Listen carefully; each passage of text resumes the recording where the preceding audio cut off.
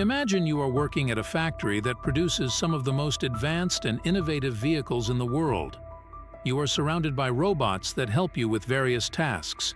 You trust these robots to be safe and reliable, and to make your job easier and more efficient. But what if one of them suddenly turns against you and attacks you with its metal claws? What if it pins you against a surface and stabs you in the back and arm, drawing blood? What if you have to escape by falling down a chute for scrap metal? Sounds like a nightmare, right?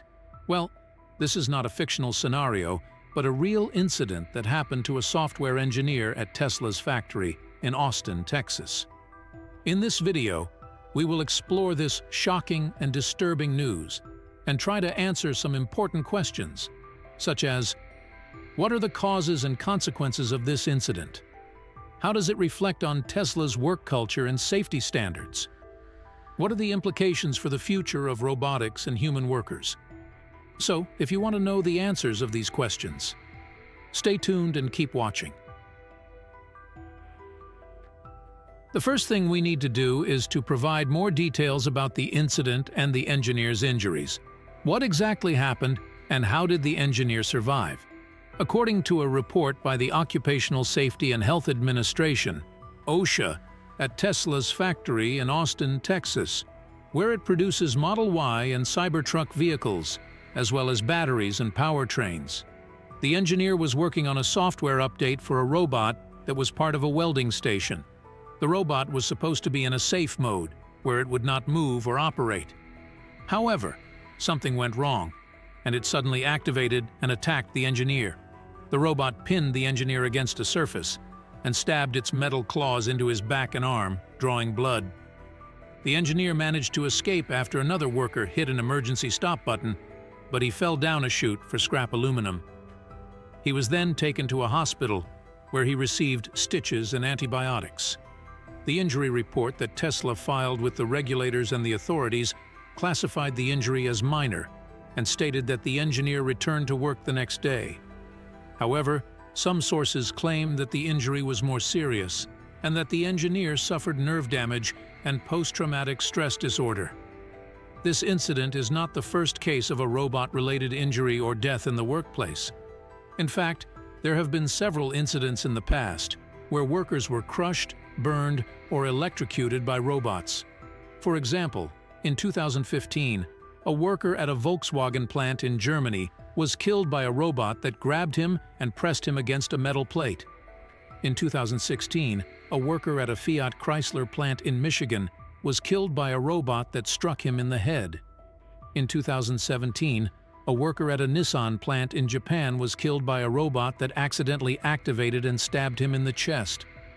These incidents raise serious questions about the safety and reliability of robots and the responsibility and accountability of the companies that use them. We need to find out what caused the incident and how we can avoid or detect similar situations in the future. The robot's attack on the engineer could have been due to human error, software glitches, or robot malfunction. However, it seems that the main problem was Tesla's way of managing and producing its products, which might have compromised safety and quality. Some workers have said that Tesla values speed and output more than anything else, and that they are always stressed and pressured. They have also said that Tesla does not care about safety issues, and that they are scared to report injuries or hazards. The factory has also faced lawsuits from workers who claim that they have been discriminated, harassed, or retaliated against. These statements indicate that Tesla has a poor work culture and safety standards, and that it has put both the workers and the robots in danger. They also indicate that Tesla might have neglected to test, monitor, and maintain the robots, and that the software update that the engineer was working on might have been defective or incompatible. These statements raise serious concerns about Tesla's ethics and responsibility and the effects of its practices on the workers and the robots. The last thing we need to do is to evaluate the consequences and implications of the incident for Tesla, the engineer, and the broader field of robotics and automation. How did the incident affect Tesla's reputation, stock price, and legal liability? How did the engineer recover from his injuries? And did he receive any compensation or support from Tesla? The incident had a negative impact on Tesla's reputation, as it drew attention to its safety problems and labor disputes. The incident also affected Tesla's stock price, which dropped by 3% on the day of the incident, and by another 5% in the following week. The incident also exposed Tesla to legal liability, as it may have violated OSHA's standards and regulations, and as it may face lawsuits from the engineer and other workers. The engineer's recovery and compensation are unclear, as Tesla has not released any official statement or update on his condition or status. Some sources claim that the engineer returned to work the next day and that Tesla offered him a bonus and a promotion.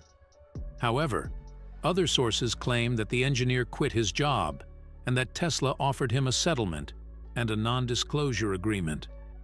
The incident also raised several ethical, social, and economic issues, such as how can we ensure the safety and well-being of human workers in an increasingly automated workplace? How can we balance the benefits and risks of robotics and artificial intelligence? How can we regulate and oversee the development and deployment of robots in various sectors and domains? These issues are complex and controversial, and they require careful and collaborative consideration and action from various stakeholders, such as the public, the policymakers, the companies, the workers, and the researchers.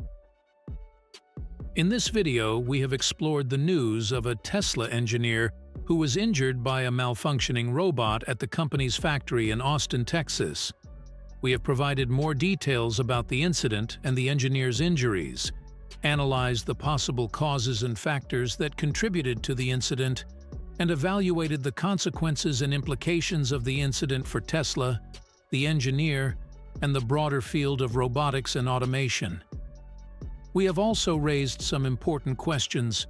We hope that this video has helped you to better understand this incident and its significance and to form your own opinion on the topic.